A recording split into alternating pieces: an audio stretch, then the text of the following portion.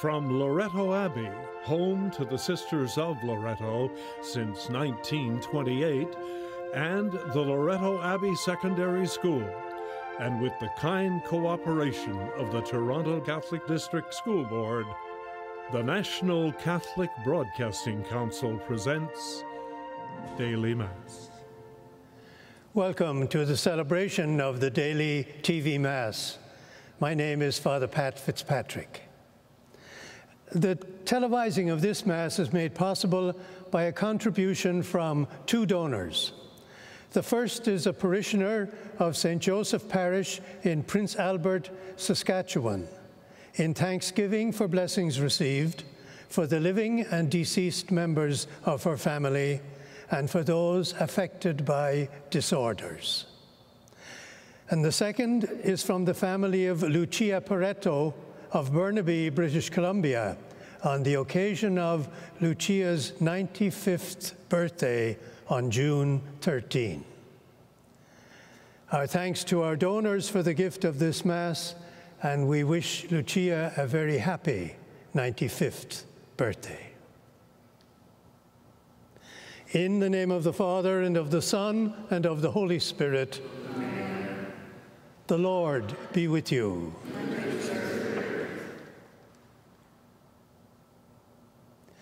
You were sent to heal the contrite of heart. Lord, have mercy. Lord, have mercy. You came to call sinners. Christ, have mercy. Christ, have mercy. You are seated at the right hand of the Father to intercede for us. Lord, have mercy. Lord, have mercy. Let us pray. O God, who through the grace of adoption chose us to be children of light, grant, we pray, that we may not be wrapped in the darkness of error, but always be seen to stand in the bright light of truth. Through our Lord Jesus Christ, your Son, who lives and reigns with you and the Holy Spirit, one God, forever and ever. A reading from the first book of Kings. After a while, the wadi where Elijah was hiding dried up because there was no rain in the land. Then the word of the Lord came to him, saying, Go now to Zarephath, which belongs to Sidon, and live there for I have commanded a widow there to feed you. So he set out and went to Zarephath. When he came to the gate of the town, a widow was there gathering sticks. He called to her and said, Bring me a little water in a vessel so that I may drink. As she was going to bring it, he called to her and said, Bring me a morsel of bread in your hand. But she said, as the Lord your God lives, I have nothing baked, only a handful of meal and a jar, and a little oil in a jug. I am now gathering a couple of sticks so that I may go home and prepare it for myself and my son, that we may eat it and die. Elijah said to her, Do not be afraid. Go. Do as you have said, but first make me a little cake of it and bring it to me. And afterwards make something for yourself and your son. For thus says the Lord, the God of Israel the jar of meal will not be emptied, and the jug of oil will not fail, until the day that the Lord sends rain to the earth. She went and did as Elijah said, so that she, as well as he and her household, ate for many days. The jar of meal was not emptied, neither did the jug of oil fail, according to the word of the Lord that he spoke by Elijah. The word of the Lord.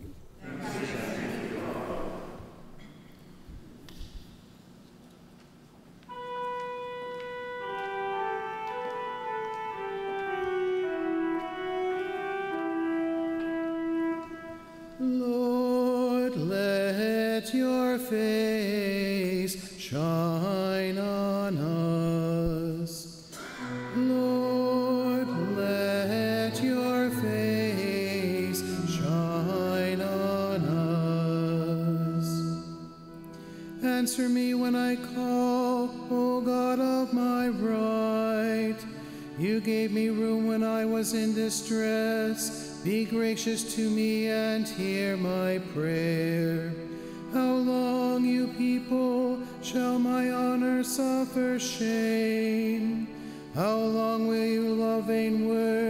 and seek after lies? Lord, let your face shine on us. But know that the Lord has set apart the faithful for himself.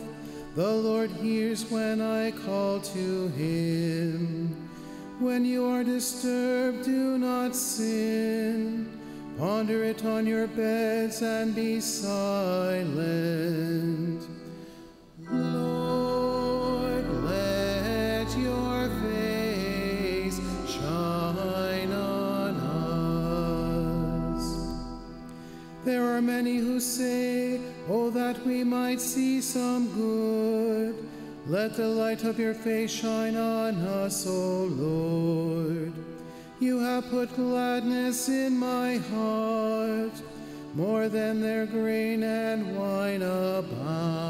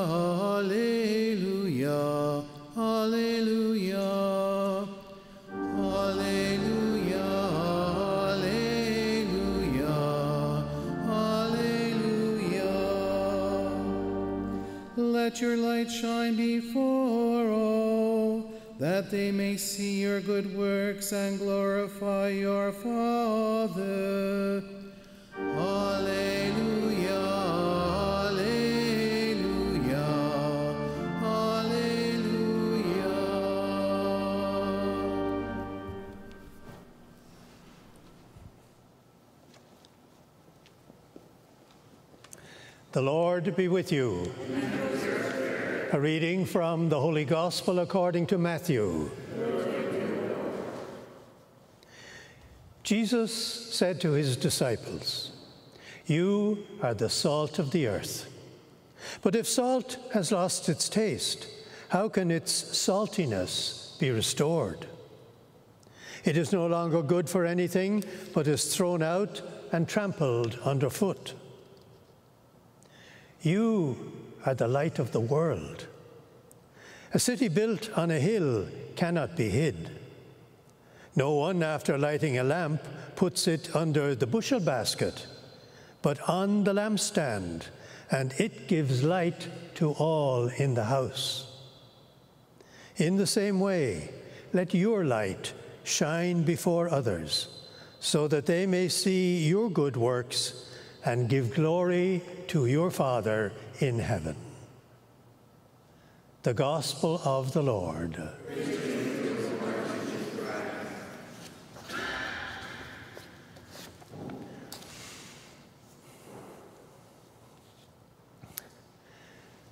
When I uh, read both of today's readings, I was uh, left wondering which one of them gave greater food for thought. In uh, our first reading, God urges the prophet Elijah to come out of hiding now that the heavy rain had drained up and to go up north where he would meet a widow who would look after him. Well, Elijah did come across this widow, and he had no hesitation in asking her for a jug of water and a slice of bread. And even when she told him how she and her son were down to their last meal, Elijah didn't back off. Make me a little cake and bring it to me, and then make something for yourself and your son. If I were in her shoes, I think I know what I might have said to this prophet. But it worked out okay. And then our gospel. Our gospel is taken from one of the three chapters that gather together Jesus' Sermon on the Mount. And uh, speaking to the apostles he has chosen, he wants to get across to them that in God's eyes, they really count and they will be taken care of. Well, like any good teacher, Jesus speaks to them in words that they will understand, and he uses examples to get his point across. They may be just ordinary people, but in his eyes, they are the salt of the earth and the light of the world. They count. I picture them turning to one another and saying, He's talking about us. We're just ordinary nobodies.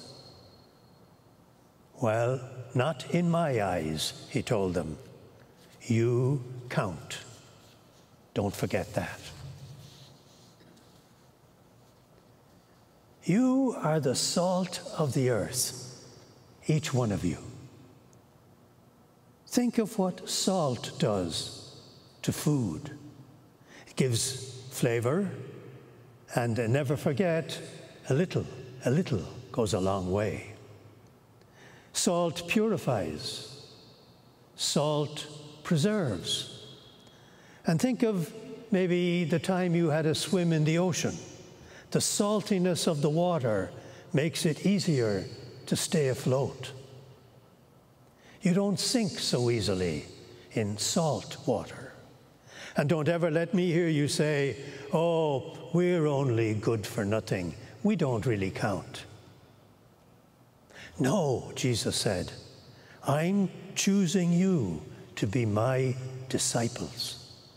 Yes, you have it within you to become my disciples, my followers. You'll help to spread my teachings to others. So hold on to what I tell you and then hand it on to others. Jesus to us, to others. So, see that city up there, that town further up on the hill. It stands out, doesn't it? You too will stand out one day. You'll become a lamp to others who are in the dark. I am the light of the world and have come to bring that light to others. But I need people like you to spread it for me. You and others who follow will be asked to let your life shine before others, to let your good works speak for themselves and shine for all to see. That's how God, or the risen Christ, gets through to other people through us who allow God to shine through us. And then Jesus goes on, I'll ask you to become keepers of the flame for me. I'll ask you to become maybe my torch bearers. Won't always mean you'll be on the podium in first, second, or third place.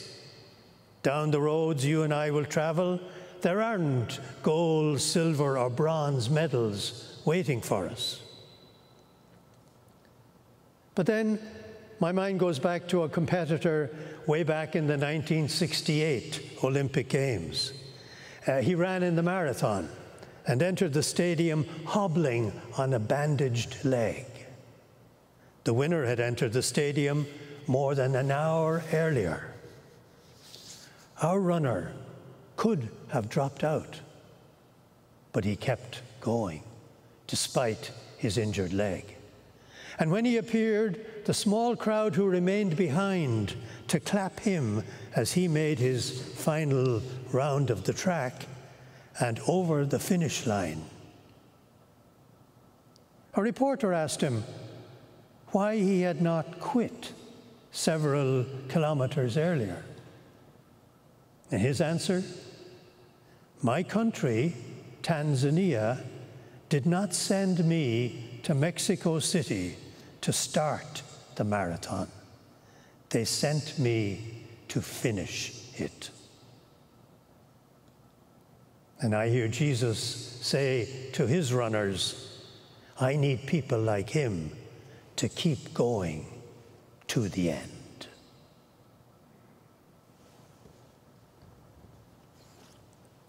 Please stand.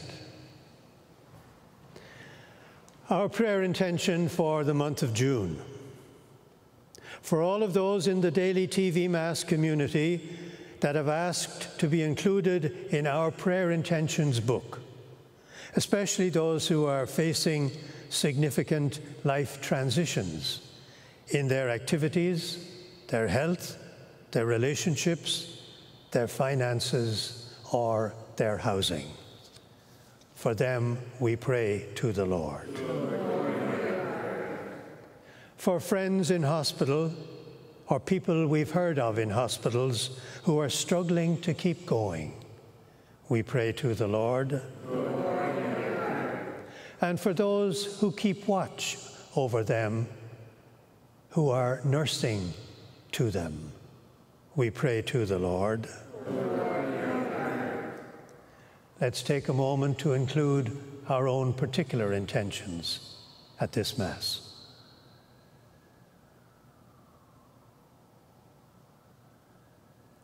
For them, we pray to the Lord. O Lord, grant to them and us a heart renewed. Recreate in us your own Spirit, Lord. Amen.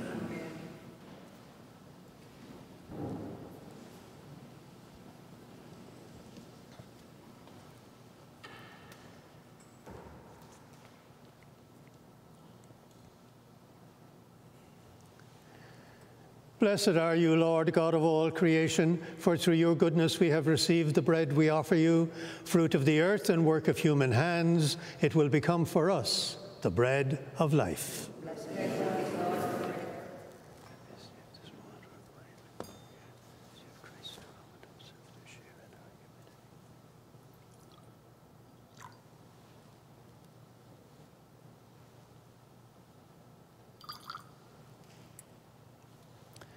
Blessed are you, Lord, God of all creation, for through your goodness we have received the wine we offer you, fruit of the vine and work of human hands.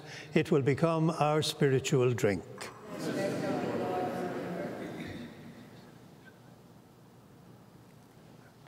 wash away my iniquity, cleanse me from my sins.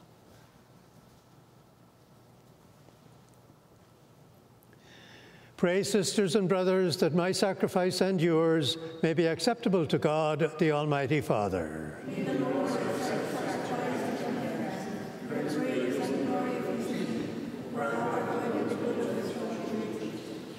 O God, you graciously accomplish the effects of your mysteries. Grant, we pray, that the deeds by which we serve you may be worthy of these sacred gifts through Christ our Lord. The Lord be with you. Lift up your hearts. Let us give thanks to the Lord our God. It is truly right and just, our duty and our salvation, always and everywhere to give you thanks, Lord, Holy Father, Almighty and eternal God. For just as through your beloved Son you created the human race, so also through him, with great goodness, you formed it anew. And so it is right that all your creatures serve you, all the redeemed praise you, and all your saints with one heart bless you. Therefore, we too extol you with all the angels, as in joyful celebration we acclaim.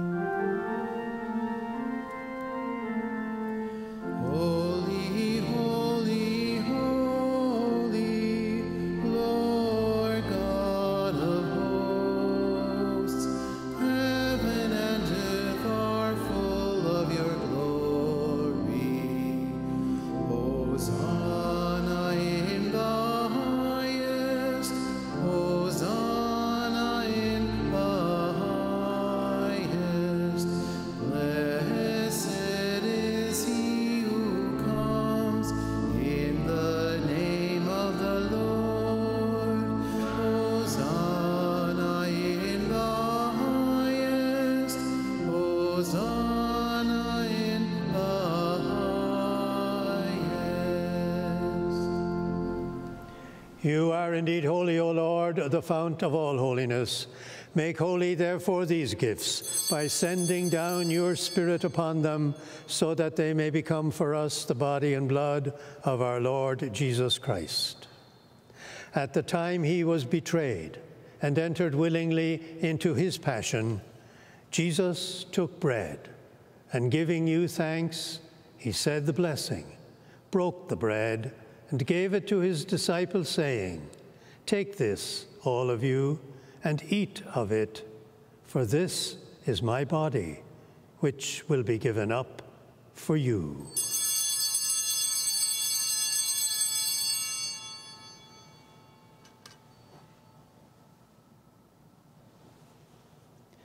In a similar way, when supper was ended, he took the chalice, and once more giving thanks, he gave it to his disciples, saying, Take this, all of you, and drink from it, for this is the chalice of my blood, the blood of the new and eternal covenant, which will be poured out for you and for many for the forgiveness of sins. Do this in memory of me.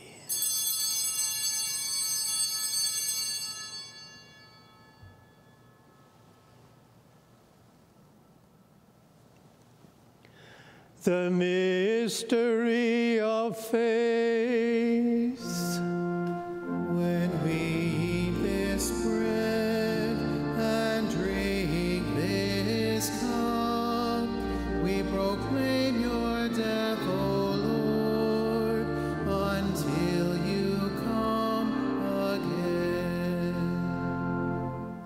Therefore, as we celebrate the memorial of his death and resurrection, we offer you, Lord, the bread of life and the chalice of salvation, giving thanks that you have held us worthy to be in your presence and minister to you. Humbly we pray that partaking of the body and blood of Christ, we may be gathered into one by the Holy Spirit. Remember, Lord, your church spread throughout the world and bring her to the fullness of charity, together with Francis, our Pope, and all our bishops. Remember also our brothers and sisters who have fallen asleep in the hope of the resurrection, and all who have died in your mercy. Welcome them into the light of your face. Have mercy on us all, that with the Blessed Virgin Mary, Mother of God, with Saint Joseph, her husband, with the blessed apostles, and with all the saints who have pleased you throughout the ages, we may merit to be co heirs to eternal life and may praise and glorify you through your Son, Jesus Christ. Through him and with him and in him, O God Almighty Father, in the unity of the Holy Spirit, all glory and honor is yours forever and ever. Amen.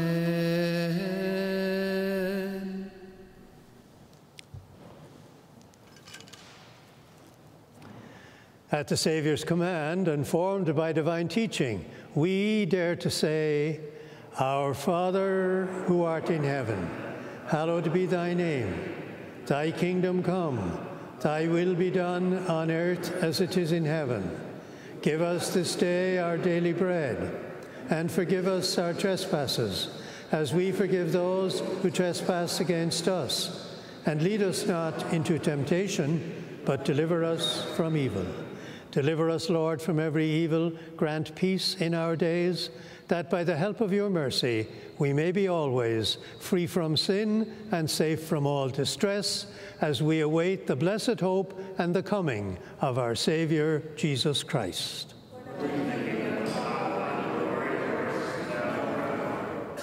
Lord Jesus Christ, you said to your apostles, Peace I leave you, my peace I give you. Look not on our sins, but on the faith of your church, and grant her peace and unity in accordance with your will, who live and reign forever and ever. Amen. May the peace of the Lord be with you always. Let us offer one another that peace. Lamb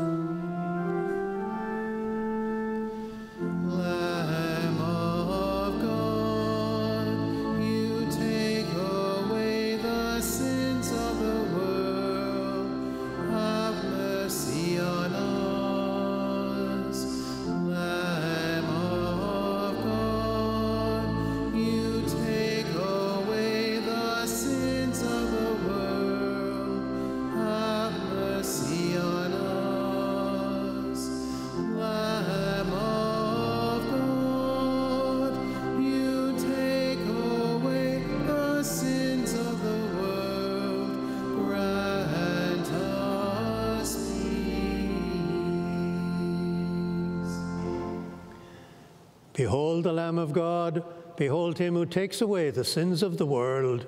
Blessed are those called to the supper of the Lamb. Lord, I am not worthy that you should enter under my roof, but only say the word, and my soul shall be healed.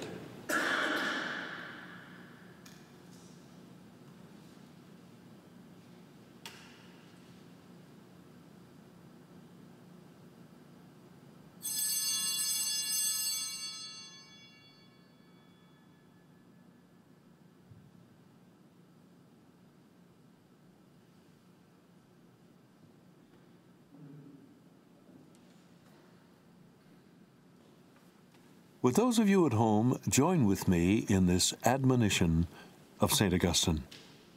Therefore, once and for all, this short command is given to you love and do what you will. If you keep silent, keep silent by love. If you speak, speak by love. If you correct, correct by love. If you pardon, pardon by love. Let love be rooted in you, and from the root, nothing but good can grow.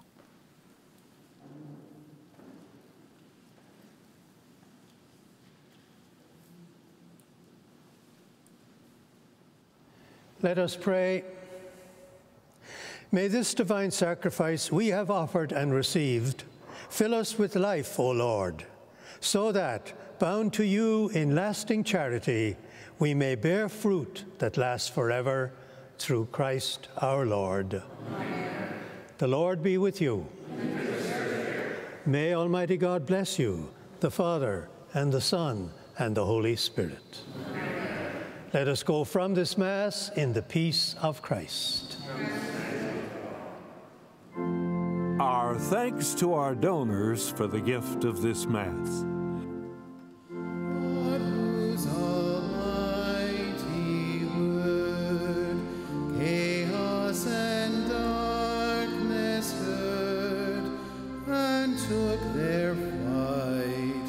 Remember, if you can't sponsor a Mass, any contribution, no matter how small, will help keep Daily Mass on television. And you'll receive an income tax receipt for your donation.